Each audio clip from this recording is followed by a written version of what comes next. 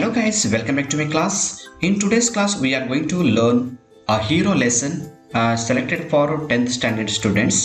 A summary in Kannada presented by ಕವಿರಾಜರಿಗೆ G H S Gadikeshwar ಇವತ್ತಿನ ತರಗತಿ ತಮ್ಮೆಲ್ಲರಿಗೂ ಸ್ವಾಗತ ಬಯಸ್ತಾ ಇವತ್ತಿನ ತರಗತಿಯಲ್ಲಿ ನಾವು ಎಸ್ ಎಲ್ ಸಿ ಇಂಗ್ಲಿಷ್ ಪಠ್ಯ ಪುಸ್ತಕದ ಮೊದಲನೇ ಪಾಠ ಹೀರೋ ಅನ್ನೋ ಪಾಠದ ಒಂದು ಸಾರಾಂಶವನ್ನು ಕಲಿಯೋಣ ಸೊ ಈ ವಿಡಿಯೋ ನಾವು ನೋಡಿ ಅಂದಾಗ ಮಾತ್ರ ಇದು ಸಾರಾಂಶ ನಿಮಗೆ ಸಂಪೂರ್ಣವಾಗಿ ಅರ್ಥ ಆಗುತ್ತೆ hero is a lesson written by R K Narayan ಈ ಪಾಠ ಬರೆದವರು ಆರ್ ಕೆ ನಾರಾಯಣ್ ಅವರು. ಸೊ ನೋಡೋಣ ಈ ಪಾಠದಲ್ಲಿ ಸ್ಟೋರಿ ಏನಿದೆ. The story begins with newspaper report read by Swami's father ಅಂದರೆ ಈ ಒಂದು ಪಾಠದ ಕತೆ ಯಾವ್ದರಿಂದ ಪ್ರಾರಂಭ ಅಂದರೆ ಸ್ವಾಮಿ ಮತ್ತು ಅವರ ತಂದೆಯವರು. ಸ್ವಾಮಿಯವ್ರ ತಂದೆಯವರು ನ್ಯೂಸ್ ಪೇಪರ್ ಅನ್ನ ಓದ್ತಾ ಇರ್ತಾರೆ. ಅವನ ಮಗ ಅಂದ್ರೆ ಸ್ವಾ ಫಾದರ್ ಮಗ ಸ್ವಾಮಿ ಏನ್ ಅಂದರೆ ಪತ್ರಿಕೆಯನ್ನ ಓದ್ತಾ ಓದೋದನ್ನ ಕೇಳ್ತಾ ಕೂತಿರ್ತಾನೆ. What was the newspaper report about so ಅಲ್ಲಿ ಬಂದಂತ ಪತ್ರಿಕೆಯಲ್ಲಿ ಬಂದಂತ ಒಂದು ವರದಿ, ಸುದ್ದಿ ಏನಾಗಿತ್ತು? ಏನು ಸುದ್ದಿ ಇತ್ತು? About the bravery of a village lad who while returning home by the jungle path came face to face with a tiger so ಏನಾಗುತ್ತೆ ಒಂದು ದಿವಸ? ಒಬ್ಬ ಹುಡುಗ ಕಾಡಿನ ಮೂಲಕ, ಕಾಡಿನ ಒಂದು ದಾರಿ ಮೂಲಕ ಮನೆಗೆ ವಾಪಸ್ ಹೋಗ್ತಿರ್ತಾನೆ. ಅವಾಗ ದಾರಿಯ ಮಧ್ಯದಲ್ಲಿ ಒಂದು ಟೈಗರ್ ಬರುತ್ತೆ. ಸೊ ಆ ಟೈಗರ್ ಆತನಿಗೆ ಏನ್ ಮಾಡ್ತಂದ್ರೆ ಅಟ್ಯಾಕ್ ಮಾಡುತ್ತೆ. ಸೊ ಅಟ್ಯಾಕ್ ಮಾಡಿದ್ಮೇಲೆ ಆ ಹುಡುಗ ಏನು ಮಾಡ್ತಾನೆ ಅಂದ್ರೆ, ಆ, ಹಳ್ಳಿ ಒಂದು ಜನರನ್ನು ತಪ್ಪಿಸುವ ಸಲುವಾಗಿ ಗಿಡದ ಮೇರೆಯಲ್ಲಿ ಕೂಡ್ತಾನೆ. ಒಂದು ತನ್ನ ಅರ್ಧ ದಿನವನ್ನ ಗಿಡದಲ್ಲಿ ಕಳಿತಾನೆ ಯಾಕಂದ್ರೆ ವಿಲೇಜರ್ಸ್ ಬಂದು ತನಗೆ ಪ್ರೊಟೆಕ್ಷನ್ ಮಾಡಲಿ ಅಂತ ಆತ ಆ ಹುಲಿದಿಂದ ರಕ್ಷಣೆ ಪಡೆಯುವ ಸಲುವಾಗಿ ಮರವನ್ನು ಏರಿ ಕೂತಿದ್ದು ಸುದ್ದಿ ನ್ಯೂಸ್ ಪೇಪರ್ದಲ್ಲಿ ಬಂದಿತ್ತು. ಸೊ ನೆಕ್ಸ್ಟ್ ಏನಾಗುತ್ತೆ the paragraph describe the flight fight boy height with the tiger and his flight of the tree where he stayed half a day till some people came that way and kill the tiger so ಈ ಥರ ಹಳ್ಳಿ ಜನ ಬಂದು ಆತನನ್ನ, ಆ ಹುಡುಗನನ್ನ ರಕ್ಷಣೆ ಮಾಡಿದ ಸುದ್ದಿ ಸ್ವಾಮಿಯವರ ತಂದೆಯವರು ಓದ್ತಾ ಹೇಳ್ತಾರೆ, ಸ್ವಾಮಿ ನ್ಯೂಸನ್ನು ಕೇಳ್ತಾನೆ. ಸೊ ಏನಾಗುತ್ತೆ? What you say to that ಅಂತ ಸ್ವಾಮಿ ತಂದೆಯವರು ಕೇಳ್ತಾರೆ. So here he is Swami's father ಇಲ್ಲಿ ದೃಶ್ಯ ಕಾಣ್ತಾ ಹುಡುಗ ಸ್ವಾಮಿ. ಸ್ವಾಮಿ ಕೇಳ್ತಾರೆ, ಈ ನ್ಯೂಸ್ ಬಗ್ಗೆ ನೀನು ಏನು ಹೇಳ್ತೀಯಾ ಅಂತ ಅಭಿಪ್ರಾಯ ಕೇಳ್ತಾರೆ. ಅವಾಗ ಸ್ವಾಮಿ ಹೇಳ್ತಾನೆ I think he must have been a very strong and grown up person not a boy at all how could a boy fight with a tiger so ಅವಾಗ ಸ್ವಾಮಿ ಹೇಳ್ತಾನೆ, ಆ ವೃತ್ತಪತ್ರಿಕೆಯಲ್ಲಿ ಬಂದಂಥ ಸುದ್ದಿ ತಗದ ಹುಡುಗ ಚಿಕ್ಕ ಹುಡುಗ ಆಗ್ಲಿಕ್ಕಿಲ್ಲ. ಆತ ಗ್ರೋನ್ ಅಪ್ ಇರಬಹುದು ಅಂದ್ರೆ ದೊಡ್ಡ ಹುಡುಗ ಆಗಿರಬಹುದು ಯಾಕಂದ್ರೆ ಚಿಕ್ಕ ಹುಡುಗರು ಟೈಗರ್ ಜೊತೆ ಫೈಟ್ ಮಾಡೋಕೆ ಹೇಗೆ ಸಾಧ್ಯ? ಅಂತ ತನ್ನ ವಾದವನ್ನು ಮಂಡನೆ ಮಾಡ್ತಾನೆ. ಸೊ ನೆಕ್ಸ್ಟ್ ಏನಾಗುತ್ತೆ? ಅವಾಗ ಸ್ವಾಮಿ ಫಾದರ್ ಹೇಳ್ತಾರೆ courage is everything strength and age are not important ಅಂತ ಹೇಳ್ತಾರೆ. ಅಂದರೆ ಇಂಥ ಒಂದು ಘಟನೆ ಘಟನೆಯಲ್ಲಿ ನಮಗೆ ಯಾವುದು ಮುಖ್ಯ ಅಂದರೆ ಧೈರ್ಯ, ಮನೆ ಮುಖ್ಯ ಮತ್ತು ಶಕ್ತಿ ಆಗಲಿ, ಸಾಮರ್ಥ್ಯ ಆಗಲಿ, ವಯಸ್ಸಾಗಲಿ ಮುಖ್ಯ ಅಲ್ಲ. ಕರೇಜ್ ಈಸ್ ಎವ್ರಿಥಿಂಗ್ ಅಂತ ಅಂತ ಸ್ವಾಮಿ ಫಾದರ್ ಅವರು ಹೇಳ್ತಾರೆ. ಸೊ ಅವಾಗ ಸ್ವಾಮಿ ಹೇಳ್ತಾನೆ how can it be father suppose I have all the courage what could I do if a tiger should attack me ಅವಾಗ ಹುಡುಗ ಅಂತಾನೆ ತಂದೆ ಮಾತನ್ನು ಒಪ್ಕೊಳ್ಳೋದಿಲ್ಲ. ತಂದೆಯವ್ರು ಹೇಳ್ತಾರೆ? ಕರೇಜ್ ಈಸ್ ಎವ್ರಿಥಿಂಗ್ ಅಂತ ಹೇಳ್ತಾರೆ. ಧೈರ್ಯನೇ ಅಲ್ಲ, ಶಕ್ತಿ, ಸಾಮರ್ಥ್ಯ, ವಯಸ್ಸು ಎಲ್ಲ ಮುಖ್ಯ ಅಲ್ಲ ಅಂತ ಅಂದಾಗ ಆ ಹುಡುಗ ಮಾತ್ರ ಮಾತನ್ನ ಒಪ್ಕೊಳ್ಳೋದಿಲ್ಲ, ತಳ್ಳಿ ಹಾಕ್ತಾನೆ. ಮತ್ತೆ ಹೇಳ್ತಾನೆ? ಸಪೋಸ್ ನನ್ನ ಹತ್ರ ಒಂದು, ಒಬ್ಬ ಚಿಕ್ಕ ಹುಡುಗನ ಹತ್ರ ಧೈರ್ಯ ಇದ್ರೆ, ಆತ ಟೈಗರ್ ಜೊತೆ ಯಾವ ಥರ ಫೈಟ್ ಮಾಡೋಕೆ ಸಾಧ್ಯ? What could I do if a tiger should attack me ನಾನು ನೋಡಿ, ನಾನು ಚಿಕ್ಕ ಹುಡುಗ ಇದ್ದೀನಿ. ನನ್ನ ಮೇಲೆ ಟೈಗರ್ ಅಟ್ಯಾಕ್ ಮಾಡ್ತು. ನನ್ನ ಹತ್ರ ಕರೇಜ್ ಇದೆ ಬಟ್ ಟೈಗರ್ ಅಟ್ಯಾಕ್ ಮಾಡಿದ್ಮ್ಯಾಗ ನಾನು ಚಿಕ್ಕ ಹುಡುಗ, ಆ ಟೈಗರ್ ಜೊತೆ ಹೇಗೆ ಫೈಟ್ ಮಾಡೋಕೆ ಸಾಧ್ಯ ಅಂತ ಅಪೋಸ್ ಮಾಡ್ತಾನೆ. ಸೊ ಅವ್ರ ಫಾದರ್ ಹೇಳ್ತಾರೆ leave alone strength can you proves you have courage ಅವಾಗ ತಂದೆ ಹೇಳ್ತಾರೆ, ವಯಸ್ಸು ಬಗ್ಗೆ ಬಿಟ್ಬಿಡಪ್ಪ. ನಿನ್ನ ಹತ್ರ ಧೈರ್ಯ ಅದ ಅಂತ ಹೇಳ್ತಾ ಇದೆಯಲ್ಲ ಆ ಧೈರ್ಯವನ್ನು ಪ್ರೂವ್ ಮಾಡಿ ತೋರಿಸ್ತೇನೆ ನಿನ್ನ ಹತ್ರ ಧೈರ್ಯ ಅದ ಅನ್ನೋದು ಅಂತ ಕೇಳ್ತಾರೆ. Let me see if you ಹ್ಯಾ if you can sleep alone tonight in my office room ಅಂತ. ಅಂದರೆ ಆಫೀಸ್ ರೂಮಲ್ಲಿ ಒಬ್ಬನೇ ಮಲಗುವ ಮೂಲಕ ತನ್ನ ಒಂದು ಧೈರ್ಯವನ್ನು ಪ್ರೂವ್ ಮಾಡೋಂಥ ತಂದೆಯವರು ಚಾಲೆಂಜ್ ಇಡ್ತಾರೆ. ಅವಾಗ ಸ್ವಾಮಿ ಹೇಳ್ತಾನೆ a frightful proposition Swami thought he had always slept beside his granny in the passage and any change in his arrangement kept him trembling and awake all night so ಸ್ವಾಮಿಯವ್ರ ತಂದೆಯವರಿಗೂ ಹೇಳ್ತಾರೆ, ಮಗನಿಗೆ, ನಿನ್ನ office ರೂಮಲ್ಲಿ ಒಬ್ಬನೇ ಮನ್ಕೋ ಅಂದಾಗ ಸ್ವಾಮಿಗೆ ತುಂಬಾನೇ ಭಯ ಆಗುತ್ತೆ. ಸ್ವಾಮಿಯವ್ರ ತಂದೆಯವ್ರು ತೆಗೆದುಕೊಂಡಂಥ ನಿರ್ಧಾರ ಅದು ಬಹಳ ಭಯಾನಕ ಅನಿಸುತ್ತೆ. ಯಾಕಂದ್ರೆ ಆತನಿಗೆ ಯಾವಾಗಲೂ ಅಜ್ಜಿಯ ಪಕ್ಕದಲ್ಲಿ ಅಂಗಳಲ್ಲಿ ಹಾಲ್ದಲ್ಲಿ ಮಲ್ಕೋತಿದ್ದ. ಆ ಥರ ಮಲ್ಕೊಳ್ಳೋ ಒಂದು ಪದ್ಧತಿಯಲ್ಲಿ ಏನಾದರೂ ಬದಲಾವಣೆ ಆದ್ರೆ ಆತನಿಗೆ ರಾತ್ರಿ ಇಡೀ ನಿದ್ದೆ ಹತ್ತಾ ಇರಲಿಲ್ಲ. ಯಾವಾಗಲೂ ಅಜ್ಜಿಯ ಪಕ್ಕದಲ್ಲಿ ಮಗ್ತ ಒಂದು ರೂಢಿ ಸ್ವಾಮಿ ಇತ್ತು. ಸೊ ಏನು ಹೇಳ್ತಾನೆ Swami he hoped at first that father was only joking ತಂದೆಯವರು ಬರೀ ಜೋಕ್ ಮಾಡ್ತಾ ಇದ್ದಾರೆ. ನನಗೆ ಆಫೀಸ್ ರೂಮ್ನಾಗ ಒಬ್ಬನೇ ನೈಟ್ ಮುಗಿಸೋದಿಲ್ಲ ಅಂತ ಆತ ಗೆಸ್ ಮಾಡಿರ್ತಾನೆ ಹಿ ಮಂಬಲ್ಡ್ ವೀಕ್ಲಿ ಬಹಳ ಸ್ವಲ್ಪ ವೀಕ್ ಧ್ವನಿಯಾದ ಮೆಲ್ಲನೆಯ ಧ್ವನಿಯಲ್ಲಿ ಹೇಳ್ತಾನೆ yes I try to change the subject matter ಅಂದರೆ ಮಲ್ಕೊಳಕ್ಕೆ ಒಪ್ಕೋತಾನೆ, ಆದರೆ ಆ ಒಂದು ಸಬ್ಜೆಕ್ಟ್ ಮ್ಯಾಟರ್ನ ಚೇಂಜ್ ಮಾಡೋಕೆ ಟ್ರೈ ಮಾಡ್ತಾನೆ. ಯಾಕಂದರೆ ಆಫೀಸ್ ರೂಮಲ್ಲಿ ಮಲ್ಕೊಳ್ಳೋಕೆ ನನಗೆ ತುಂಬಾ ಭಯ ಆಗ್ತಿತ್ತು. ಸೊ ಅದಕ್ಕೆ ಏನು ಮಾಡ್ತಾನೆ ನಾನು ಫಾಯ್ದಾಗ ಮಾಡಿ ತಪ್ಪಿಸ್ಕೋಬೇಕು ಅಂತ ಕೆಲವೊಂದು ಡಿಸ್ಪರೇಟ್ ಅಟೆಂಪ್ಟ್ಸ್ಗಳನ್ನ ಸ್ವಾಮಿ ಮಾಡ್ತಾನೆ. ಮತ್ತೆ ಏನು ಹೇಳ್ತಾನೆ ಸ್ವಾಮಿ? ಇದನ್ನು ಕೇಳಿದ ನಂತರ ಸ್ವಾಮಿ ಒಂದು ಉತ್ತರವನ್ನು ಕೊಡ್ತಾನೆ. We are buying brand new bats and balls ಅಂತ ಹೇಳ್ತಾನೆ. ಅಂದರೆ ನಮ್ಮ ಎಲ್ಲ ಗೆಳೆಯರು ಕೂಡ್ಕೊಂಡು ಒಂದು ಕ್ರಿಕೆಟ್ ಕ್ಲಬ್ಬನ್ನು ಮಾಡ್ತಾ ಇದ್ದೀವಿ. ನಾವು ಹೊಸ ಬಾಲ್ಸ್ ಮತ್ತು ಬ್ಯಾಟ್ಗಳನ್ನು ಪರ್ಚೇಸ್ ಮಾಡ್ತಾ ಇದ್ದೀವಿ. ಈ ವಿಷಯನ ನನಗೆ ಹೇಳು ಅಂತ ನನ್ನ ಫ್ರೆಂಡ್ಸ್ ಎಲ್ಲ ಹೇಳಿದ್ದಾರೆ ಅಂತ ತಮ್ಮ ತಂದೆಯವರ ಗಮನವನ್ನು ಈ ಕಡೆಗೆ ಸೆಳಿತಾನೆ. ಅಂದರೆ ಆಫೀಸ್ ರೂಮ್ನಲ್ಲಿ ಒಯ್ದು ಮಂಗಿಸಬಾರ್ದು ಅನ್ನೋ ಒಂದು ಉದ್ದೇಶದಿಂದ ಸ್ವಾಮಿ ಸಬ್ಜೆಕ್ಟ್ ಮ್ಯಾಟರ್ ಚೇಂಜ್ ಮಾಡೋ ಸಲುವಾಗಿ ಈ ವಿಷಯವನ್ನು ಪ್ರಸ್ತಾಪ ಮಾಡ್ತಾನೆ. ಅವಾಗ ತಂದೆ ಹೇಳ್ತಾರೆ we will see about that later ಅದ್ರ ಬಗ್ಗೆ ನಾವು ಆನಂತರ ನಂತರ ನೋಡೋಣ ಬಿಡು. ಈಗ ನೀನು ಮಲಗೋದ್ರ ಬಗ್ಗೆ ಏನಾಯ್ತು ಅಂತ ಮತ್ತೆ ವಿಷಯವನ್ನು ನೆನಪಿಸ್ತಾರೆ. ಅವಾಗ ಸ್ವಾಮಿ ಹೇಳ್ತಾನೆ from the first of next month I will sleep alone ಅಂತ. ಸೊ ಮತ್ತೊಂದು ಪ್ರಯತ್ನ ಮಾಡ್ತಾನೆ ಸ್ವಾಮಿ. ಏನಂತ, ನಾನು ಮುಂದಿನ ತಿಂಗಳು ಒಂದನೇ ತಾರೀಕಿಗೆ ಮನ್ಕೋತೀನಿ ಅಂತ ಸ್ವಾಮಿ ಹೇಳ್ತಾನೆ. So this is also an attempt to escape from his father's decision ಅಂದರೆ ತಂದೆಯಿಂದ ತಪ್ಪಿಸಿಕೊಳ್ಳಲು ಸ್ವಾಮಿ ಮಾಡಿದಂಥ ಇದೊಂದು ಎರಡನೇ ಪ್ರಯತ್ನ ಅನ್ಬೋದು. ಏನು? ಮುಂದಿನ ತಿಂಗಳು ಮೊದಲನೇ ತಾರೀಕಿಗೆ ಮನ್ಕೋತೀನಿ ಅಂತ ಸ್ವಾಮಿ ಹೇಳ್ತಾನೆ. ತಂದೆ ಹೇಳ್ತಾರೆ no you must do it now it is disgraceful sleeping beside granny or mother like a baby ಅಂತ ಹೇಳ್ತಾರೆ. ನೋಡು, ನೀನು ಮುಂದಿನ ತಿಂಗಳು ಮೊದಲನೇ ತಾರೀಕು ಬೇಡ. ಇವತ್ತೇ ಮಲಗಬೇಕು. ಯಾಕಂದ್ರೆ ಈ ಥರ ಮಲಗೋದು ನಿನ್ನ ಅಜ್ಜಿ ಪಕ್ಕದಲ್ಲಿ ಮತ್ತು ತಾಯಿಯ ಪಕ್ಕದಲ್ಲಿ ಮಗು ಥರ ಮಲ್ಕೋದು ಸರಿಯಲ್ಲ. I don't like the way you are being brought up ನೀನು ಈ ಥರ ಬೆಳೆಯೋದು ನನಗೆ ಇಷ್ಟ ಆಗ್ತಿಲ್ಲ. ನೀನೊಬ್ಬ ಧೈರ್ಯವಂತ ಬಾಲಕ ಆಗಬೇಕು ಅಂತ ತಂದೆಯವರು ಇವತ್ತೇ ಮುನ್ಕೋಬೇಕು ಅಂತ ಒತ್ತಾಯ ಮಾಡ್ತಾರೆ. ಸೊ ಸ್ವಾಮಿಗೆ ತುಂಬಾನೇ ಭಯ ಆಗುತ್ತೆ. ಏನು ಮಾಡಬೇಕು ಅಂತ ಗೊತ್ತಾಗ್ತಾ ಇಲ್ಲ. ಆಫೀಸ್ ರೂಮಲ್ಲಿ ಒಂದು ರಾತ್ರಿ ಒಬ್ಬನೇ ಮಲ್ಕೋಬೇಕಂದ್ರೆ ಹೇಗೆ ಮಾಡಬೇಕು? ಆತನಿಗೆ ಭಯಗಳು ಕಾಡ್ತಾ ಇರುತ್ತೆ. ಸೊ ನೆಕ್ಸ್ಟ್ ಏನಾಗುತ್ತೆ? Swami's father sat gloomily gazing at the newspaper on his lap. Swami rose silently and tiptoed to his bed in the passage. Granny was sitting up in her bed and said, so ಸ್ವಾಮಿಯವ್ರ ತಂದೆಯವರು ಪತ್ರಿಕೆ ಓದ್ತಾ ಅದರಲ್ಲಿ ಆಳವಾಗಿ ಮಗ್ನವಾದಾಗ ಸ್ವಾಮಿ ಏನು ಮಾಡ್ತಾರೆ ಅಲ್ಲಿಂದ ಸಾವಧಾನವಾಗಿ sound ಮಾಡಲಾರ್ದೆ ಅಲ್ಲಿಂದ ಎದ್ದು ಹೋಗಿ ಮಲ್ಕೋತಾನೆ ಮಲ್ಕೊಂಡಾಗ ಅಜ್ಜಿ ಕೇಳ್ತಾಳೆ ಸ್ವಾಮಿಗೆ ಒಂದು ಮಾತನ್ನು ಹೇಳ್ತಾಳೆ ಏನು ಹೇಳ್ತಾಳೆ boy are you already feeling sleepy? Don't you want to hear a story ಮಗು ನೀನು ಆಗಲೇ ಈ ಮಲಗಿದ್ದೇನು? ನೆತ್ತಿ ಬರ್ತಾ ಇದ್ದೇನಾ? ನಿನ್ನ ಕತೆ ಕೇಳಲೇನು ಅಂತ ಅಜ್ಜಿ ಹೇಳ್ತಾಳೆ.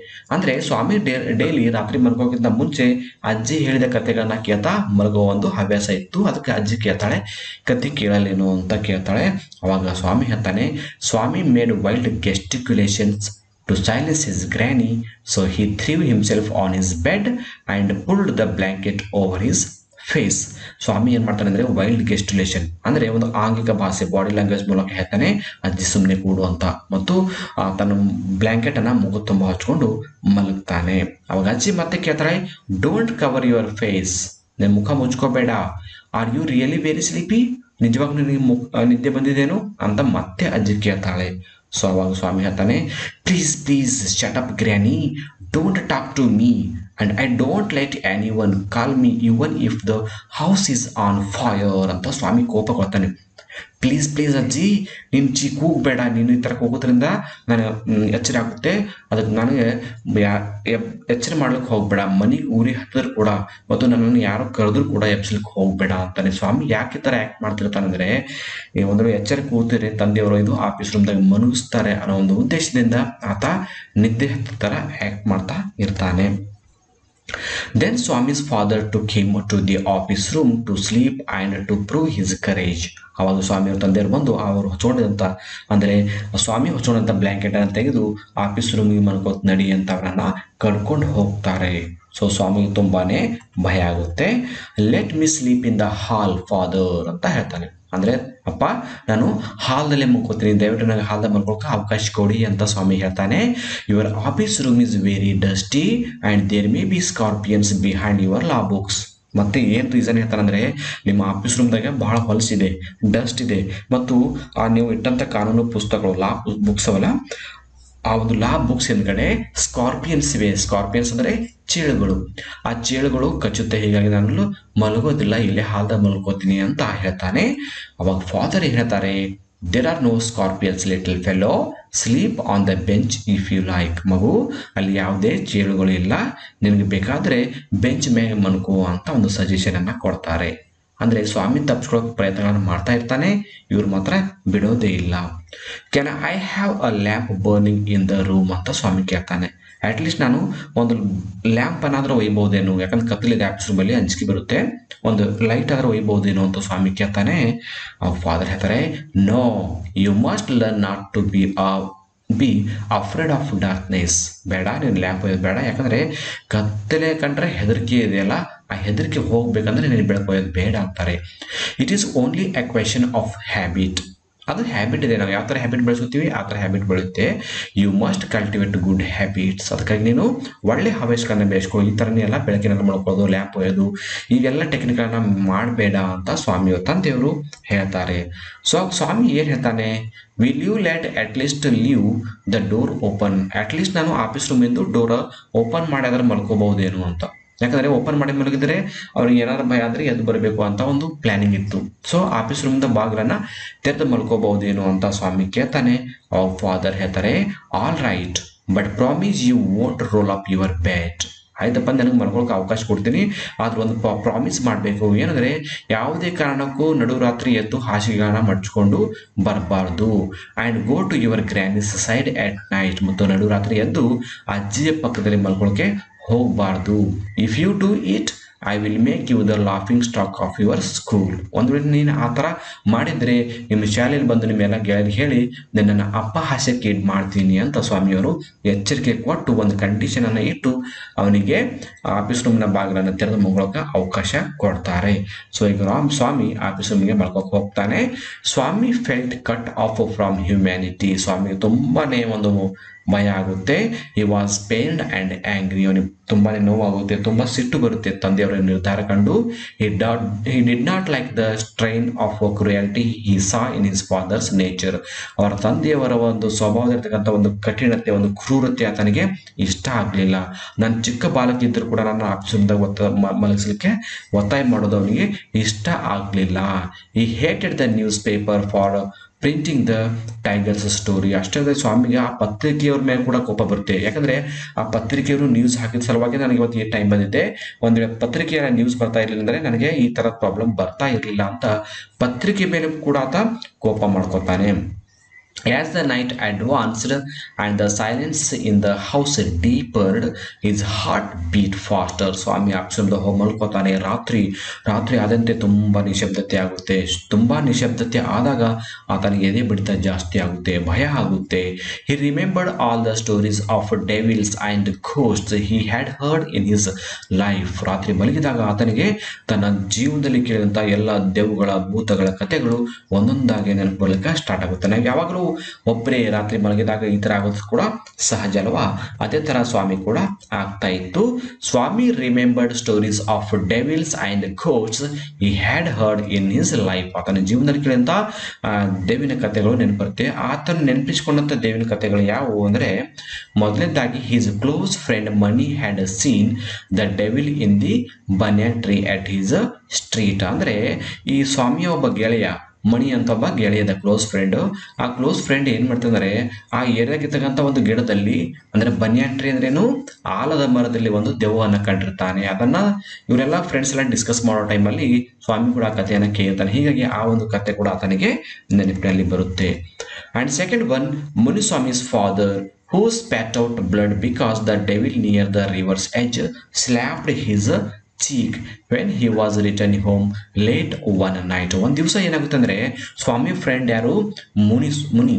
ಆ ಮುನಿಸ್ವಾಮಿ, ಆ ಮುನಿಸ್ವಾಮಿಯ ತಂದೆಯವರು ತನ್ನ ಡ್ಯೂಟಿಯನ್ನು ಮುಗಿಸ್ಕೊಂಡು ಆ ನದಿಯ ದಡದಲ್ಲಿನ ಕಾಡಿನ ಮೂಲಕ ಮನೆಗೆ ಹೋಗ್ತಿರ್ಬೇಕಾದ್ರೆ ರಾತ್ರಿ ಏನಾಗ್ತದೆ ಒಂದು ದೆವ್ವ ಬಂದು ಆ ಥರ ಕಪಾಳ ಮೇಲೆ ಹೊಡೆದು ರಕ್ತಕಾರಿ ಸತ್ತು ಹೋಗಿರ್ತಾರೆ. ಹೀಗಾಗಿ ಈ ಒಂದು ಡೆವಿಲ್ ಸ್ಟೋರಿ ಕೂಡ ಸ್ವಾಮಿಗೆ ನೆನಪಾಗುತ್ತೆ. ಮೊದಲನೇ ಸ್ಟೋರಿ ಯಾವುದು? ಮಣಿ. ಆಮೇಲೆ ಎರಡನೇ ಸ್ಟೋರಿ ಯಾರ್ದು? ಮುನಿಸ್ವಾಮಿದು. ಈ ಎರಡು ಸ್ಟೋರಿಗಳು ಕೂಡ ಆತನಿಗೆ ನೆನಪು ಬರುತ್ತೆ. And third one is old friend in the fourth class who suddenly disappeared and was said to have been carried off by a ghost to Siam and Nepal ಮತ್ತೆ ಒಂದು ಸ್ಟೋರಿ ಕೂಡ ನೆನಪು ಬರುತ್ತೆ. ಏನಂದ್ರೆ, ಒಂದು ದಿವಸ ಏನಾಗುತ್ತೆ ಅಂದ್ರೆ ಫೋರ್ತ್ ಸ್ಟ್ಯಾಂಡರ್ಡ್ ಸ್ಟೂಡೆಂಟ್ ನಾಲ್ಕನೇ ತರಗತಿ ವಿದ್ಯಾರ್ಥಿ ಏನ್ ಮಾಡ್ತಾರೆ ಕಣ್ಮರೆ ಆಗಿರ್ತಾನೆ. ಆತನ ಬಗ್ಗೆ ಏನು ಸುದ್ದಿ ಎದ್ದಿರುತ್ತೆ ಅಂದರೆ ದೆವ್ ಆತನನ್ನ ಕಿಡ್ನಾಪ್ ಮಾಡಿಕೊಂಡು, ಭೂತ ಆತನನ್ನು ಕಿಡ್ನ್ಯಾಪ್ ಮಾಡಿಕೊಂಡು ಸಿಎಂ ಮತ್ತು ನೇಪಾಳಿಗೆ ಒಯ್ದಿದೆ ಅಂತ ಒಂದು ಕತೆ. ಈ ಎಲ್ಲ ಡೈವಿಲ್ ಸ್ಟೋರಿಗಳು ಆತನಿಗೆ ಒಂದ, ಒಂದರ ನಂತರ ಒಂದು ನೆನಪಿನಲ್ಲಿ ಬರ್ಲಿಕ್ಕೆ ಪ್ರಾರಂಭ ಆಗುತ್ತೆ. ಸೊ ನೆಕ್ಸ್ಟ್ ಏನಾಗುತ್ತೆ? As the night advanced he heard some noises ರಾತ್ರಿ ಆದಂತೆ ಕೆಲವೊಂದು ಶಬ್ದಗಳು ಆತನ ಕಿವಿಗೆ ಬೀಳುತ್ತೆ. ಸಹಜವಾಗಿ ರಾತ್ರಿ ಆದಾಗ ಕೆಲವೊಂದು ಕೀಟಗಳ ಸದ್ದು, ಬೇರೆ ಬೇರೆ ಸದ್ದುಗಳು ಕೇಳಿಸ್ತಿರುತ್ತೆ. ಯಾಕಂದ್ರೆ ರಾತ್ರಿ ತುಂಬಾನೇ ಸೈಲೆಂಟ್ ಆಗಿರುತ್ತೆ ಅಲ್ವಾ? ಆ ಸೈಲೆಂಟ್ ರಾತ್ರಿಯಲ್ಲಿ ಏನಾಗುತ್ತೆ? ಕೆಲವೊಂದು ಶಬ್ದಗಳು ಈಸಿಯಾಗಿ ಕೇಳಿಸುತ್ತೆ. ಸೊ ಸ್ವಾಮಿ ಆಫೀಸ್ ರೂಮಲ್ಲಿ ಮಲಗಿದ್ದಾಗ ಯಾವ ಯಾವ ಶಬ್ದಗಳು ಕೇಳಿಸಿದ ಅನ್ನೋದು ನೋಡೋಣ. First the ticking of the clock ಅಂದ್ರೆ ಗಡಿಯಾರದ ಟಿಕ್ ಟಿಕ್ ಸದ್ದು ಅದನಿಗೆ ಕೇಳಬರುತ್ತೆ ಯಾಕಂದ್ರೆ ರಾತ್ರಿ ಸೈಲೆಂಟ್ ಇದ್ದಾಗ ಏನಾಗುತ್ತೆ? ಸಹಜವಾಗಿ ಗಡಿಯಾರ ಮುಳ್ಳುಗಳ ಒಂದು ಸದ್ದು ಕೂಡ ನಾವು ಕೇಳ್ತೀವಿ. ಆ ಸೌಂಡ್ ಸ್ವಾಮಿಯನ್ನ ಕೇಳಬಂತು. Second rustle of the trees ಅಂದ್ರೆ ಗಿಡಗಳಿರ್ತಕ್ಕಂಥ ಎಲೆಗಳ ಸದ್ದು, ಗಾಳಿ ಬಿಟ್ಟಾಗ ಗಿಡದ ಕೂಡ ಬರುತ್ತೆ ಅಲ್ವಾ ಆ ಸೌಂಡ್ ಕೂಡ ಕೇಳಿಸುತ್ತೆ. ಥರ್ಡ್ ಸ್ನೂರಿಂಗ್ ಸೌಂಡ್ ಸ್ನೂರಿಂಗ್ ಅಂದ್ರೆ ಗೊರಕೆ ಗೊರಕೆ ಸದ್ದು ಕೂಡ ಕೇಳಿಸ್ತದೆ ಅಕ್ಕಪಕ್ಕದಲ್ಲಿ ಎಲ್ಲ ಮನೆಯವರು ಮಲಗಿರ್ತಾರೆ. ಸೊ ಹೀಗಾಗಿ ಆ ಗೊರಕೆ ಶಬ್ದ ಕೂಡ ಆತನಿಗೆ ರಾತ್ರಿ ಕೇಳುತ್ತೆ. And some vague night insects humming ಕೆಲವೊಂದು ರಾತ್ರಿ ಕೀಟಗಳು ಶಬ್ದ ಮಾಡೋದು ಕೂಡ ಸ್ವಾಮಿಗೆ ಕೇಳಿಸುತ್ತೆ. ಇನ್ಸೆಕ್ಟ್ಸ್ ಅಂದ್ರೇನು? ಕೀಟಗಳು ರಾತ್ರಿ ಎಲ್ಲ ಕೆಲವೊಂದು ಶಬ್ದಗಳು ಬರುತ್ತಲ್ಲ, ಆ ಎಲ್ಲ ಶಬ್ದಗಳು ಕೂಡ ಸ್ವಾಮಿ ಕಿವಿಗೆ ಕೇಳಿಸ್ಲಿಕ್ಕೆ ಪ್ರಾರಂಭ ಆಗುತ್ತೆ. ಈ ಎಲ್ಲ ಸೌಂಡ್ ಕೇಳಿದಾಗ ಸ್ವಾಮಿಗೆ ಏನಾಗುತ್ತೆ ಅಂದರೆ ಮತ್ತಿಷ್ಟು ಭಯ ಆಗಲಿಕ್ಕೆ ಪ್ರಾರಂಭ ಆಗುತ್ತೆ. ಯಾಕಂದ್ರೆ ಚಿಕ್ಕ ಹುಡುಗ ಆಫೀಸ್ ರೂಮಲ್ಲಿ ಕತ್ತಲಲ್ಲಿ ಒಬ್ಬನೇ ಮಲಗಿದ್ದಾನೆ. ಹೀಗಾಗಿ ಆತನಿಗೆ ಭಯ ಆಗ್ತಾ ಇತ್ತು. ಜೊತೆಗೆ ದೇವಿನ ಕಥೆಗಳು ಕೂಡ ಕೇಳಿಸ್ತಾ ಇದ್ವು. Swami hurriedly got up and spend spread his bed under the bench and crouched there Swami ಏನ್ ಮಾಡ್ತಾನೆ ಅದರ ಆಮೇಲೆ ಭಯ ಆಗಿ ಆತನಿಗೆ ನಿದ್ರೆ ಬರ್ತಾ ಇರಲಿಲ್ಲ. ಹೀಗಾಗಿ ತನ್ನ ಹಾಸಿಗೆ ಎಲ್ಲ ತೆಗೆದು ಏನ್ ಮಾಡ್ತಾನೆ, ಆ ಬೆಂಚ್ ಕೆಳಗಡೆ ಹಾಸ್ತಾನೆ. ಅಲ್ಲಿ ಆಫೀಸ್ ಒಂದು ಬೆಂಚ್ ಇರುತ್ತೆ ಅಲ್ಲ, ಆ ಬೆಂಚ್ ಕೆಳಗಡೆ ಹಾಸಿ ಮುಳ್ಕೋತಾನೆ. ಯಾಕೆ ಬೆಂಚ್ ಕೆಳಗಡೆ ಮುಳ್ಕೋತಾನೆ? It seem to be a much safer place more compact and reassuring ಯಾಕಂದ್ರೆ ಆ ಪ್ಲೇಸ್ ಆತನಿಗೆ ತುಂಬಾನೇ ಸೇಫ್ ಅನಿಸುತ್ತೆ. ಸೇಫ್ ಅಂದ್ರೆ ಸುರಕ್ಷೆ. ಆಮೇಲೆ ಕಾಂಪ್ಯಾಕ್ಟ್ ಕಾಂಪ್ಯಾಕ್ಟ್ ಅಂದ್ರೆ ಸೂಕ್ತ. ರೀಅಸೂರಿಂಗ್ ಅಂದ್ರೆ ಒಂದೊಂದು ಒಂದು ರೀತಿಯ ಧೈರ್ಯ ಬರ್ತಕ್ಕಂಥ ಸ್ಥಳ. ಈ ತರ ಇದ್ರ ಸಲುವಾಗಿ ಸ್ವಾಮಿ ಏನ್ ಮಾಡ್ತಾನೆ ಅಂದ್ರೆ ಆತನಿಗೆ ಅಲ್ಲಿ ಕೆಳಗೆ ಮುಳ್ಕೊಂಡು ಸ್ವಲ್ಪ ಭಯ ಕಡಿಮೆ ಆಗ್ತಾ ಇತ್ತು. ಹೀಗಾಗಿ ಬೆಂಚ್ ಕೆಳಗಡೆ ಮಲ್ಕೋತಾನೆ. ಸೊ ಬೆಂಚ್ ಕೆಳಗೆ ಮಲ್ಕೊಂಡಾಗ ಏನಾಗುತ್ತೆ? ಟೈಗರ್ ವಾಚ್ ಚೇಸಿಂಗ್ ಹಿಮ್ ಟೈ ಬೆಂಚ್ ಕೆಳಗೆ ಮಲ್ಕೊಂಡಾಗ ಸ್ವಲ್ಪ ನಿದ್ರೆ ಹತ್ತುತ್ತೆ. ನಿದ್ದೆ ಹತ್ತಿದಾಗ ಏನಾಗುತ್ತೆ ಅಂದ್ರೆ, ಆ ನಿದ್ದೆಯಲ್ಲಿ ಆತ ಕೂಡ ಒಂದು ನೈಟ್ ಪೇನ್ ಅನ್ನ ಕಾಣ್ತಾನೆ. ಅಂದ್ರೆ ಕೆಟ್ಟ ಕನಸನ್ನೇ ಕಾಣ್ತಾನೆ. ಒಂದು ದಿವಸ ಏನಾಗುತ್ತೆ ನಿದ್ರಿಗಣೆಯಲ್ಲಿ? ಆ ನಿದ್ದೆಯಲ್ಲಿ ಕನಸಿನಲ್ಲಿ ಏನಾಗುತ್ತೆ? ಟೈಗರ್ ವಾಚ್ ಚೇಸಿಂಗ್ ಚೇಸಿಂಗ್ ಅಂದ್ರೆ ಬೆನ್ ಹತ್ತೋದು. ಒಂದು ಟೈಗರ್ ಆತನಿಗೆ ಬೆನ್ ಹತ್ತದಂಗೆ ಕನಸು ಬೀಳುತ್ತೆ his feet stuck to the ground he desperately try to escape but his feet would not move ಕನಸಿನಲ್ಲಿ ಟೈಗರ್ ಬೆನ್ ಹತ್ತಂಗೆ ಆಗುತ್ತೆ. ಹುಲಿ ಬೆನ್ ಹತ್ತಂಗೆ ಆಗುತ್ತೆ. ಆತನ ಕಾಲುಗಳು, ಅಂದ್ರೆ ಸ್ವಾಮಿಯ ಕಾಲುಗಳು ಕೆಸರಲ್ಲಿ ಸಿಕ್ಕಿ ಬಿದ್ದಿರುತ್ತೆ ಓಡ್ಲಿಕ್ಕೆ ಟ್ರೈ ಮಾಡ್ತಾನೆ. ಆದ್ರೆ ಆತನಿಗೆ ಓಡಕ್ಕೆ ಆಗ್ತಾ ಇರಲಿಲ್ಲ. ಹಿಂದೆ ಬೇರೆ ಟೈಗರ್ ಮಾತ್ರ ತುಂಬಾನೇ ವೇಗವಾಗಿ ಬೆನ್ ಹತ್ತಾ ಇತ್ತು. The tiger was at his back and he could hear its claws scratch tiger ತಮ್ಮ ಒಂದು ಊರೊಳ ಸದ್ದು ಓಡೋ, ಸದ್ದನ್ನು ಕೇಳಿ ಸ್ವಾಮಿಗೆ ತುಂಬಾನೇ ಭಯ ಆಗಿರುತ್ತೆ. ಹೇಗಾದ್ರೆ ಮಾಡಿ ತಪ್ಪಿಸ್ಕೊಂಡು ತನ್ನ ಕಾಲುಗಳನ್ನು ಕೆಸರಿಗೆ ಸಿಕ್ಕಿದಂತ ಕಾಲುಗಳನ್ನು ತೆಗೆಸ್ಕೊಂಡು ಓಡಬೇಕು ಅಂತ ಇರ್ತಾನೆ. ಆದರೆ ಕಾಲುಗಳು ಮಾತ್ರ ಕೆಸರಲ್ಲಿ ಸಿಕ್ಕಿ ತುಂಬಾನೇ ಭಯ ಆಗಿ ಸ್ವಾಮಿಗೆ ಸಡನ್ಲಿ ಏನಾಗುತ್ತೆ? ಎಚ್ಚರ ಮೇಲೆಲ್ಲ ಸುತ್ತ ರೂಮ್ ತುಂಬ ಎಲ್ಲ ತುಂಬಾನೇ ಕತ್ತಲೆಯಾಗಿರುತ್ತೆ ಅವಾಗ ಏನ್ ಮಾಡ್ತಾನೆ? With a desperate effort he open his eyes ಅಂತ ತನ್ನ ಕೊನೆಗೆ ಕಣ್ಣನ್ನು ಓಪನ್ ಮಾಡಿ ಸುತ್ತಲೆಲ್ಲ ನೋಡ್ತಾನೆ. He put his hand out to feel his granny's presence at his sides as was his habit so ಎಚ್ಚರ ಆಗ್ತದೆ ಸ್ವಾಮಿ ಆಮೇಲೆ ಏನು ಮಾಡ್ತಾನೆ ಅಂದರೆ ಪಕ್ಕದಲ್ಲೆಲ್ಲ ಕೈ ಹಚ್ಚಿ ನೋಡ್ತಾನೆ. ಯಾಕಂದರೆ ಪ್ರತಿ ಸಲ ಆತನಿಗೆ ಯಾವಾಗಲೂ ಎಚ್ಚರದಾಗ ಏನು ಮಾಡ್ತಾರೆ ಪಕ್ಕದಲ್ಲಿ ಕೈ ಹಚ್ಚಿದಾಗ ಅಜ್ಜಿ ಇರ್ತಿದ್ರು. ಸೊ ಸಮಾಧಾನ ಆಗ್ತಿತ್ತು. ಬಟ್ ಈ ತರನು ಈಗನು ಏನು ಮಾಡ್ತಾನೆ ಅಂದರೆ ಅದು ಆತನ ಪಕ್ಕದಲ್ಲೆಲ್ಲ ಕೈ ಆಡಿಸಿ ನೋಡ್ತಾನೆ. ಅಜ್ಜಿ ಅವನ ಕೈಗೆ ತಾಕೋದಿಲ್ಲ. ಯಾಕಂದ್ರೆ ಆತನ ಆಫೀಸ್ ರೂಮ್ದಾಗ ಮಲಗಿದ್ದು ನಿದ್ರೆಗಳಲ್ಲಿ ಮರೆತು ಹೋಗಿರುತ್ತೆ. But he only touch the wooden leg of the bench so ಅವನ ಕೈಗೆ ಏನು ತಾಕುತ್ತೆ ಅಂದರೆ, ಆ ಬೆಂಚಿನ ಕಾಲುಗಳು ಮಾತ್ರ ತಾಕುತ್ತೆ. ಸೊ ಅವಾಗ ಸ್ವಾಮಿಗೆ ನೆನಪಾಗುತ್ತೆ, ಓ, ನಾನು ಆಫೀಸ್ ರೂಮಲ್ಲಿ ಮಲಗಿದ್ದೀನಿ, ನಾನು ಪಕ್ಕದಲ್ಲಿ ಅಜ್ಜಿ ಇಲ್ಲ ಅಂತ ನೆನಪಾಗಿ ತುಂಬಾನೇ ಮತ್ತೆ ಭಯ ಆಗ್ಲಿಕ್ಕೆ ಪ್ರಾರಂಭ ಮಾಡುತ್ತೆ.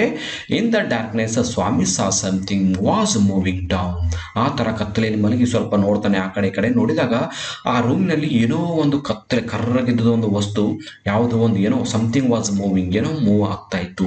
ಸ್ವಾಮಿ ನೋಡ್ತಾನೆ ಬಟ್ ಬೆಳಕಿರೋದಿಲ್ಲ. ಆ ಕತ್ತಲೆಯಲ್ಲಿ ಹೋಗೋದನ್ನ ಕಂಡು ತುಂಬಾನೇ ಭಯ ಆಗುತ್ತೆ ರಾತ್ರಿ ಬೇರೆ ಇರುತ್ತಲ್ಲ ಹಿ ಲೇಸ್ ಗೇಸಿಂಗ್ ಎಟ್ ಈಟ್ ಇನ್ ಹಾರ ಭಯದಿಂದ ಆ ಕಡೆನೇ ದಿಟ್ಟಿಸಿ ನೋಡ್ತಾ ಇರ್ತಾನೆ. ಅದು ಏನಿದೆ ಅಂತ ತುಂಬಾನೇ ಕ್ಯೂರಿಯಾಸಿಟಿಯಿಂದ ನೋಡ್ತಾನೆ, ತುಂಬಾ ಭಯದಿಂದ ನೋಡ್ತಾನೆ. ಹಿಸ್ ಎಂಡ್ ಹ್ಯಾಡ್ ಕಮ್ ಆತನಿಗೆ ಎಷ್ಟು ಭಯ ಆಗುತ್ತಂದ್ರೆ ನಂದು ಮುಗಿತಪ್ಪ, ನಂದು ದಿನಗಳು ಇಲ್ಲಿಗೆ ಮುಗಿದ, ನಾನು ಸಾಯ್ತೀನಿ ಅನ್ನೋ ಭಯ ಆತನಿಗೆ ಕಾಡ್ಲಿಕ್ಕೆ ಪ್ರಾರಂಭ ಆಗುತ್ತೆ. He realized that the devil would presently pull him out and tear him ಆತ ಏನು ಕಲ್ಪನೆ ಮಾಡ್ಕೋತಾನೆ ಅಂದ್ರೆ, ಈ ದೆವ್ ಇದಿರ್ಬೋದು ಅದು ನನ್ನ ಸಮೀಪ ಬರ್ತಾ ಇದೆ, ಬಂದು ನನ್ನನ್ನು ಬೆಂಚ್ ಕೆಳಗಡೆಯಿಂದ ಎಳ್ಕೊಳ್ಬಹುದು, ಎಳ್ಕೊಂಡು ನನ್ನನ್ನು ಹರಿದು ತಿನ್ನಬಹುದು ಹರಿದು ಕೊಂದು ಹಾಕುತ್ತೆ. And so why should he wait so ಇಷ್ಟೆಲ್ಲ ನಾನು ಮಾಡ್ತೇನೆ ಅಂದ್ರೆ, ನಾನು ಯಾಕೆ ಸುಮ್ಮನೆ ಕೂಡಬೇಕು? ನಾನು ಏನಾದರೂ ಪ್ರಯತ್ನ ಮಾಡಬೇಕು ಅಂತ ಸ್ವಾಮಿ ಡಿಸೈಡ್ ಮಾಡ್ತಾನೆ. ಯಾಕಂದ್ರೆ, ಆ ಒಂದು ಡಾರ್ಕ್ ಥಿಂಗ್ ಅವನ ಕಡೆ ಬರ್ತಾ ಇದೆ ಅದು ದೆವ್ವೆ ಇರ್ಬೋದು ಅಂತ ಆತ ಗೆಸ್ ಮಾಡಿರ್ತಾನೆ. ಅದು ಬಂದು ಅಟ್ಯಾಕ್ ಮಾಡಿ ನನ್ನ ಹಕ್ಕು ಹಾಕ್ತಾನೆ. ಮ್ಯಾಗ ನಾನು ಯಾಕೆ ಪ್ರಯತ್ನ ಮಾಡಬಾರ್ದು? ಅದಕ್ಕೆ ಏನಾದ್ರು ಮಾಡಬೇಕು ಅಂತ ಸ್ವಲ್ಪ ಧೈರ್ಯವನ್ನು ತಾಳ್ಕೊತಾನೆ as it came near he crawled out from under the bench, hugged it with all his might, and used his teeth on it like a mortal weapon. So ಅವಾಗ ಏನು ಮಾಡ್ತಾನೆ ಸ್ವಾಮಿ? ಆ ಬೆಂಚ್ ಕೆಳಗಡೆಯಿಂದ ಸಾವಕಾಶವಾಗಿ ತೆಳ್ತಾ ಮಕ್ಕಳು ಯಾವ ಥರ ಹೊಟ್ಟೆ ಹಾಕೋತ ಹೋಗ್ತಾರಲ್ಲ ಆ ಥರ ತೆವಳ್ತಾ ಬೆಂಚ್ ಕಡೆಗಿಂದ ಹೊರಗಡೆ ಬರ್ತಾನೆ. ಆ ಬರ್ತಕ್ಕಂಥ ಒಂದು ದೆವ್ವನ್ನ ಅದು ದೆವ್ವಿರುತ್ತೋ ಇರುತ್ತೋ ಗೊತ್ತಿಲ್ಲ ಕತ್ಲೆಯಲ್ಲಿ ಬರ್ತಕ್ಕಂಥ ವಸ್ತುವನ್ನ ಬಿಗಿದಾಗಿ ಹಿಡ್ಕೋತಾನೆ ಬಿಗಿದಾಗಿ ತಬ್ಕೋತಾನೆ. ಹಗ್ಗಂದ್ರೇನು ತಬ್ಬಿಕೊಳ್ಳೋದು. ಬಿಗಿಯಾಗಿ ತಬ್ಬಿಕೊಂಡು ಏನು ಮಾಡ್ತಾನೆ ಅಂದರೆ ತನ್ನ ಹಲ್ಲುಗಳಿಂದ ಅದಕ್ಕೆ ಕಚ್ತಾನೆ. He use his teeth as a mortal weapon ಅಂದ್ರೆ ಮಾಟಲ್ ವೆಪನ್ ಅಂದ್ರೆ ಆತನ ಹಲ್ಲುಗಳನ್ನೇ ಆಯುಧವಾಗಿ ತಗೋತಾರೆ ಯಾಕಂದ್ರೆ ಆತನ ಆತನ ಹತ್ರ ಫೈಟ್ ಮಾಡೋಕೆ ಯಾವುದೇ ಆಯುಧಗಳು ಇರೋದಿಲ್ಲ. ಬರ್ತಕ್ಕಂಥ ಒಂದು ದೆವ್ವನ್ನ ಕ್ಯಾಚ್ ಮಾಡಿ ಬಿಗಿಯಾಗಿ ಹಾಕೊಂಡು ಕಚ್ತಾನೆ. ಸೊ ಕಚ್ಚಿದಾಗ ಏನಾಗುತ್ತೆ? ಅಯ್ಯೋ something has bitten me cried the burglar went forth and agonized thundering cry and was followed by a heavy trembling and falling amidst furniture. So ಅವಾಗ ಆ ಕಚ್ಚಿದಾಗ ಯಾರೋ ಕೂಗ್ತಾರೆ, ಅಯ್ಯೋ ಸಮಥಿಂಗ್ ಹ್ಯಾಸ್ ಬಿಟನ್ ಮೀ ಅಂತ. ಅಯ್ಯೋ, ನನಗೆ ಯಾರೋ ಕಚ್ಚಿದ್ರು ಅಂತ ಕೂಗ್ತಾರೆ. ಕೂಗಿ ಆ ಒಂದು ಭಯದಿಂದ ಕೂಗ್ತಾ ಫರ್ನಿಚರ್ಸ್ ಇರ್ತಾರೆ ಅಲ್ಲೆಲ್ಲ ಒಂದು ಫರ್ನಿಚರ್ ಇರ್ತಾರಲ್ಲ ಉಪಕರಣಗಳು, ಸಲಕರಣೆಗಳು. ಆ ಫರ್ನಿಚರ್ ಪೀಠೋಪಕರಣಗಳು ಇರುತ್ತೆ, ಅದ್ರ ಮ್ಯಾಗೆ ಬಿದ್ದು ಬಿಡ್ತಾನೆ. In a moment father cook and servant came in carrying light ಈ ಥರ ಅಲ್ಲಿ ಕಚ್ಚಿದಾಗ ಏನಾಗುತ್ತೆ? ಆ ಕಚ್ಚಿದಂಥ ಸ್ವಾಮಿ ವ್ಯಕ್ತಿಯನ್ನ ಬೀಗಾಗಿ ಹಿಡ್ಕೊಂಡು ಕಚ್ಚಿರ್ತಾನಲ್ಲ ಆವಾಗ ಆ ವ್ಯಕ್ತಿ ಬೀಳ್ತಾನೆ ಫರ್ನಿಚರ್ಗಳ ಮೇಲೆ. ಆ ಫರ್ನಿಚರ್ ಮೇಲೆ ಬಿದ್ದಾಗ ಸೌಂಡ್ ಆಗುತ್ತೆ ಮತ್ತು ಆತ ಬರ್ಗ್ಲರ್ ಇರ್ತಾನೆ, ಒಬ್ಬ ಕಳ್ಳ ಇರ್ತಾನೆ. ಆ ಕಳ್ಳ ಕೂಗಿರ್ತಾನೆ ಏನಂತ? ಸಮಥಿಂಗ್ ಹ್ಯಾಸ್ ಬಿಟನ್ ಮೀ ಅಂತ. ಸೊ ಸ್ವಾಮಿ ರೂಮಿಗೆ ಬಂದಂತ ವ್ಯಕ್ತಿ ಬೇರೆ ಯಾರೋ ಅಲ್ಲ, ಒಬ್ಬ ದೊಡ್ಡ ದರೋಡೆಕೋರ ಇರ್ತಾನೆ, ಮನೆಗಳ ಕಳ್ತನ ಮಾಡ್ತಕ್ಕಂಥ ವ್ಯಕ್ತಿ ಇರ್ತಾನೆ. ಸ್ವಾಮಿ ಅವನನ್ನೇ ಕಚ್ಚಿರ್ತಾನೆ. ದೇವಂದು ತಗೊಂಡು ಆತನ ಕಚ್ಚಿರ್ತಾನೆ. ಹೀಗಾಗಿ ಆ ಒಂದು ಬರ್ಗ್ಲರ್ ಏನ್ ಮಾಡ್ತಾನೆ ಅಂದ್ರೆ, ಆ ಫರ್ನಿಚರ್ ಮೇಲೆ ಬಿದ್ದಾಗ, ಕೂಗಿದಾಗ ಸೌಂಡ್ ಆಗುತ್ತೆ. ಹೀಗಾಗಿ ಆ ಮನೆಯಲ್ಲಿ ಸ್ವಾಮಿ ಫಾದರ್ ಕುಕ್ ಮತ್ತು ಸರ್ವಂಟ್. ಅಡಿಗೆ ಕುಕ್ ಅಂದ್ರೆ ಯಾರು? ಅಡಿಗೆ ಮಾಡೋರು. ಮತ್ತು ಸರ್ವಂಟ್ ಅಂದ್ರೆ ಆಮೇಲೆ ಕೆಲಸ ಮಾಡ್ತಕ್ಕಂಥ ಸೇವಕ. ಎಲ್ಲರೂ ಉಳ್ಕೊತು ಒಂದು ಲೈಟ್ ಅನ್ನು ತೆಗೆದುಕೊಂಡು ಆಫೀಸ್ ರೂಮಿಗೆ ಬರ್ತಾರೆ. And all three of them fell on the burglar who lays amid the furniture with a bleeding ankle ankle so ಅವಾಗ ಏನ್ ಮಾಡ್ತಾರೆ. ಆ ಸ್ವಾಮಿ ತಂದೆಯರಾಗಿರ್ಬೋದು ಕುಕ್ ಆಗಿರ್ಬೋದು ಮತ್ತು ಸರೌಂಡ್ ಎಲ್ಲರೂ ಹೋಗಿ ಆ ವ್ಯಕ್ತಿಯ ಮೇಲೆ ಬೀ, ಬೀಳ್ತಾರೆ, ಬಿದ್ದು ಆಕಲನ್ನ ಹಿಡಿತಾರೆ. ಹಿಡಿತಾರೆ, ಹಿಡಿದು ಅವನನ್ನ ಪೊಲೀಸ್ ಡಿಪಾರ್ಟ್ಮೆಂಟ್ಗೆ, ಪೊಲೀಸ್ಗೆ ಒಯ್ದು ಕೊಡ್ತಾರೆ. ಸೊ ನೆಕ್ಸ್ಟ್ ಏನಾಗುತ್ತೆ? Thus by accidentally Swami caught the burglar ಈ ತರ ಆಕಸ್ಮಿಕವಾಗಿ ಸ್ವಾಮಿ ಒಬ್ಬ ದೊಡ್ಡ ದರೋಡೆಕೋರನ್ನ ಕ್ಯಾಚ್ ಮಾಡ್ತಾನೆ. ಆತ ದರೋಡೆಕೋರನ್ನ ಕ್ಯಾಚ್ ಮಾಡಬೇಕು ಅನ್ನೋ ಇಂಟೆನ್ಷನ್ ಆತನಿಗೆ ಇರಲಿಲ್ಲ. ಆಫೀಸ್ ರೂಮಲ್ಲಿ ಮಲಗಿದಾಗ ಇರಬಹುದು ಅದಕ್ಕೆ ಹೆಂಗಾದ್ರೂ ಮಾಡಿ ತಪ್ಪಿಸ್ಕೋಬೇಕನ್ನೋ ಉದ್ದೇಶದಿಂದ ಕಚ್ಚಿರ್ತಾನೆ, ಅದನ್ನು ಕ್ಯಾಚ್ ಮಾಡಿರ್ತಾನೆ. So congratulations were showered on Swami next day ಮರುದಿವ್ಸ ಏನಾಗ್ತಂದ್ರೆ ಸ್ವಾಮಿಯ ಮೇಲೆ ಧನ್ಯವಾದಗಳ ಸೂರ್ಯಮಳೆ ಸುರುತ್ತೆ ಎಲ್ಲರೂ ಕೂಡ ಆತನ ಸಾಧನೆಯನ್ನು ಕಂಡು ಅಪ್ರಿಸಿಯೇಟ್ ಮಾಡ್ತಾರೆ. ಯಾಕಂದ್ರೆ ಸ್ವಾಮಿ ಒಬ್ಬ ದೊಡ್ಡ ದರೋಡೆಕೋರನನ್ನ ಆ ದರೋಡೆಕೋರನನ್ನ ಪೊಲೀಸ್ ಡಿಪಾರ್ಟ್ಮೆಂಟ್ ಅವರು ಬಹಳ ವರ್ಷಗಳಿಂದ ಸರ್ಚ್ ಮಾಡ್ತಾ ಇರ್ತಾರೆ. ಆದ್ರೆ ಪೊಲೀಸ್ ಡಿಪಾರ್ಟ್ಮೆಂಟ್ಗೆ ಯಾವ ಪೊಲೀಸರು ಕೂಡ ಆತ ಸಿಕ್ಕಿರಲ್ಲ. ಬಟ್ ಸ್ವಾಮಿ ಅಂತವನನ್ನ ಕ್ಯಾಚ್ ಮಾಡಿರ್ತಾನೆ. ಹೀಗಾಗಿ ಸ್ವಾಮಿಯ ಬಗ್ಗೆ ಎಲ್ಲ ಜನರು ತುಂಬಾನೇ ಹೊಗಳಿ ಮಾತಾಡ್ತಿರ್ತಾರೆ. ನೋಡೋಣ ಯಾವ ತರ ಆಗುತ್ತೆ. ಯಾವ ಥರ ಅವನನ್ನ ಕಂಗ್ರ್ಯಾಚುಲೇಷನ್ಸ್ ಹೇಳ್ತಾರೆ?